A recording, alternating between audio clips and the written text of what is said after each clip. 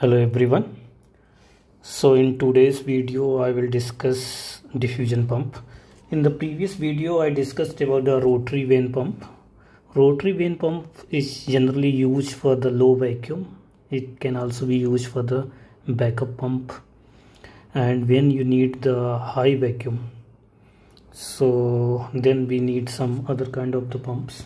And diffusion pump is one of them which can create the high vacuum. So diffusion pump can create a vacuum of uh, 10 to power minus 8 pascal. So this is one of the choice if you want to create the high vacuum. Okay.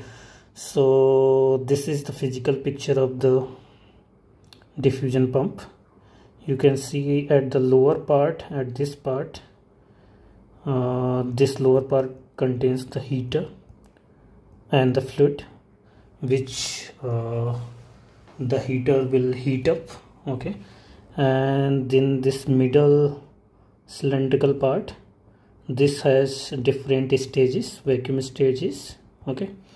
And the top part this part is connected to the chamber which you want to evacuate okay? So this is connected to the chamber and you see here one opening at this point. So this is connected to the fore pump. Okay. So this part is connected to the fore pump. So if we see the schematic uh, the cross sectional and the schematic so we can see here. At the lower part we have this electrical heater and then this is on the top of this we have the fluid. Okay. So we use the liquid. And this heater heats this fluid. And this oil is heated. And this when this oil is formed in the vapor form. So this goes up. So inside these tubes and you can see there are like four stages A, B, C and D. And diffusion pump can also have uh, means more stages uh, more and even less than this. So there can be three there can be five stages. So depending on the diffusion pump. So let me describe here what we have like we um, talked about in the what is the physical picture. So here you can see that we have this cooling tube at the side here just to cool down this oil. So and then this upper part is connected to the chamber which we want to uh, evacuate. And this part is connected to the fore pump okay. So now what happens? We uh, start the heater and we heat up this oil. And when this oil is heat up this vapor actually goes uh, in these tubes. Uh, so this vapor jet goes to the tubes. And if you see the cross sectional schematic for this so you can see that this goes all the vapors are going through the tube so this is let's say different stages. And when they are going they are hitting this umbrella type structure okay? So all these vapors are hitting. Suppose they are hitting here this is hitting here. So these are hitting the umbrella type structure. And then they are coming down through this nozzle. So the rich nozzle and they are coming down through this nozzle and they these vapors vapor jet are coming down with a very high speed. So this is supersonic speed okay? They are coming down with very high speed. So what happens when this vapor jet is going through very high speed? Actually the vacuum is created. So if you see on the top the vacuum is very high. So here the vacuum is very high and if you see the middle section so at a stage the vacuum is very high. And b and c vacuum is uh, moderate lower than that. And then d basically is for the uh, fore pump okay?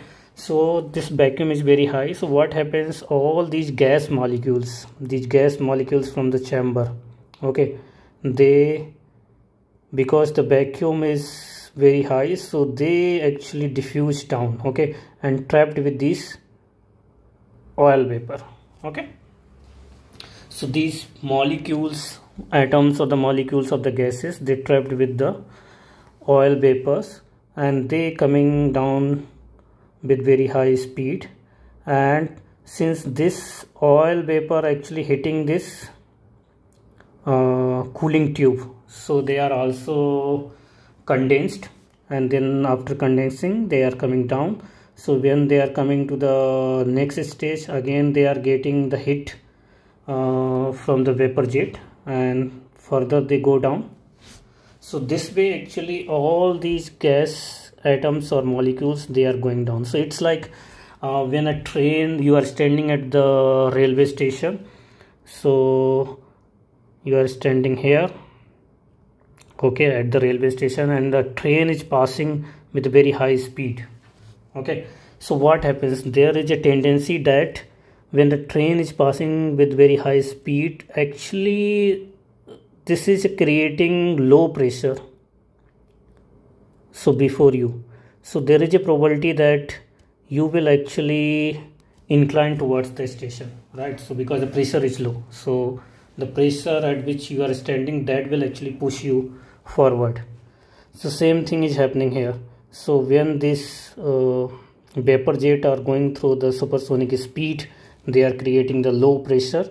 And because of the low pressure all these atom and molecules of the gases from the chamber they are coming down. They are trapped with the oil vapor. And then these oil vapors are condensed.